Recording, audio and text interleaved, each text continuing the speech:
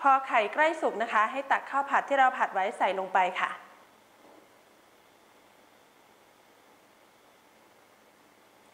ใส่ลงไปตรงกลางเลยค่ะ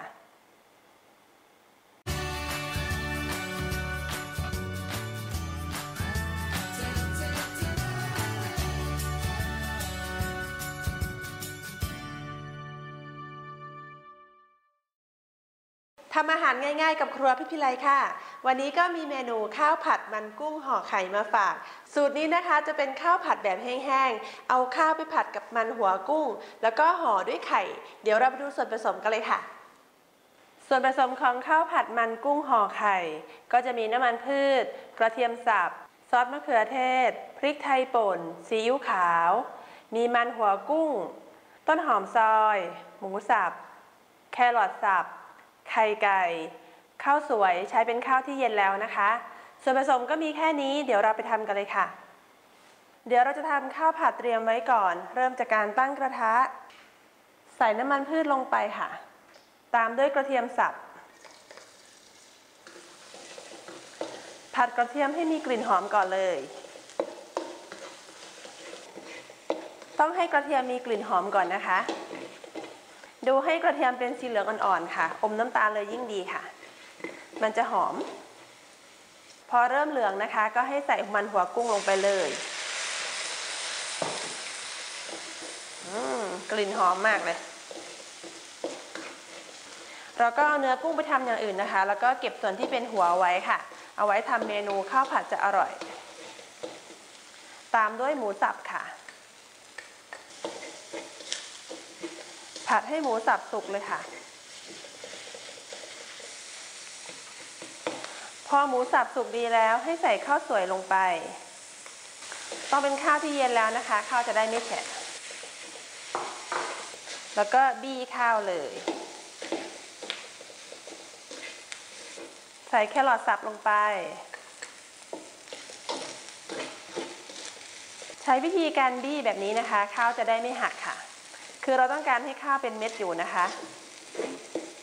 ปรุงรสด้วยซีอิ๊วขาว แล้วก็พริกไทยป่น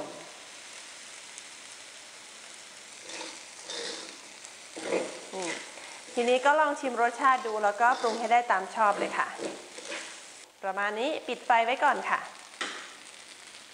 เดี๋ยวเราจะทำไข่สำหรับห่อข้าวค่ะ ก็เตรียมถ้วยสำหรับตีไข่ ตอกไข่ใส่ลงไปเลยค่ะ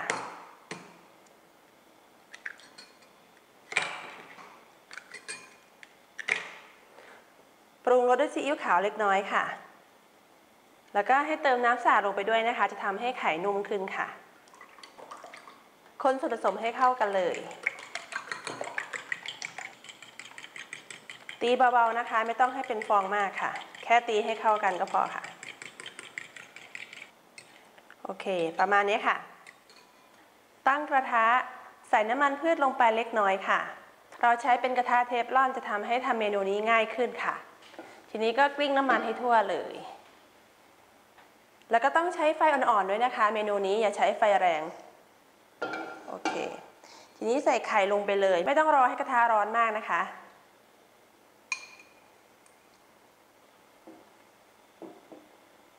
ค่อยๆ กลิ้งไข่แบบนี้ค่ะ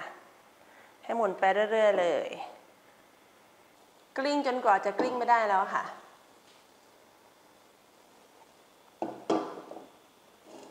ทีนี้ก็เปิดไฟอ่อนๆค่ะ ให้ไข่ตรงกลางสุกดีนะคะ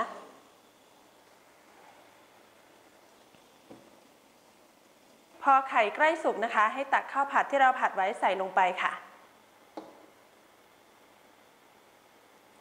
ใส่ลงไปตรงกลางเลยค่ะ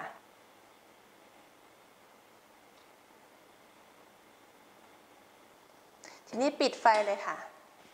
ความร้อนจากกระทะยังอยู่นะคะ ให้ปิดไฟเลยให้ไข่ค่อยๆสุก ใช้ตะหลิวแซะไข่แบบนี้ค่ะ ค่อยๆ เอาไข่หุ้มข้าวค่ะ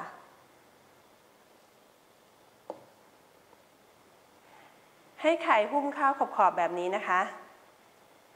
ทีนี้วิธีเสิร์ฟก็ง่ายมากๆเลยค่ะ ให้เตรียมจานแบบนี้นะคะ แล้วก็คว่ำลงไปในกระทะ ใช้มือจับก้นจานไว้แบบนี้นะคะ แล้วก็คว่ำกระทะลงเลย เร็วๆเลยนะคะ นี่ แล้วก็ขยับเข้ามาตรงกลาง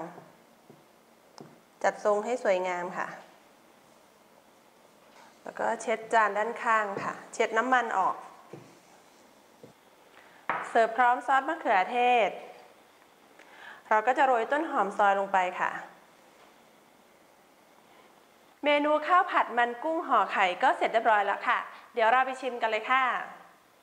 นี่เลยค่ะ ข้าวผัดมันกุ้งห่อใหญ่ ๆ แบบนี้เลยห่อใหญ่มาก ไข่ก็เยอะมากเลยค่ะ ลองชิมก่อน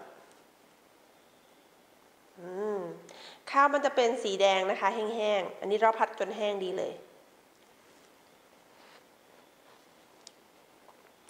อืม อืม ข้าวจะมีกลิ่นหอมของมันหัวกุ้งค่ะ อืม อร่อยมากเลยถ้าใครที่แบบชอบกินเผ็ดหน่อย ก็ใส่พริกน้ำปลาได้นะคะอืมดีงามมากๆเลย ใครที่ชอบกินเมนูข้าวผัดอยู่แล้วก็ลองสูตรนี้ดูได้ค่ะ เป็นข้าวผัดมันกุ้งห่อไข่ คือแบบว่าเก๋ไก๋ไปอีกแบบหนึ่งนะคะ รสชาติก็อร่อยขึ้นด้วย ต้องลองทำดูค่ะ ถ้าชอบคลิปนี้ก็อย่าลืมกดไลค์ กดแชร์ กดติดตามให้ด้วย แล้วเจอกันใหม่คลิปหน้า สวัสดีค่ะ